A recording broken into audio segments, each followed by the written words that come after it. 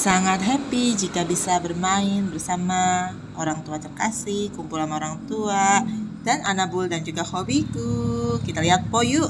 Nggak boleh. Nggak boleh. Asin. Cari duit dan olahraga harus seimbang. Kalau enggak mumet juga ya. Cara orang yang sering ngatain orang menggunakan kata-kata asu ataupun juga menggunakan anjing itu nangis. Tapi kadang yang ngomonginnya itu merasa sudah beragama tapi nggak lupa tingkah lakunya seperti binatang. Ya, si asu yang satu ini ya disalah-salahin terus dalam sebuah statement. Padahal guys, kalau yang berengsek ya berengsek aja. Jadi guys banyak ya yang toksik toksik misalnya apa? Ya pacar toksik, suami toksik, teman toksik.